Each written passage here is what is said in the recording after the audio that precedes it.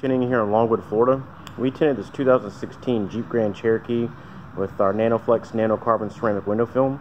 It is the highest infrared rejecting film on the market, and we are the only ones in the area to carry it. This customer tinted his whole, vehicle, including the windshield, which is legal in the state of Florida with the proper paperwork from a, a physician.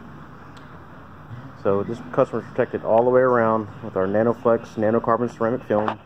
For more information, please visit tintmanwindowtinting.com or give us a call at 407 678 8468. Thank you.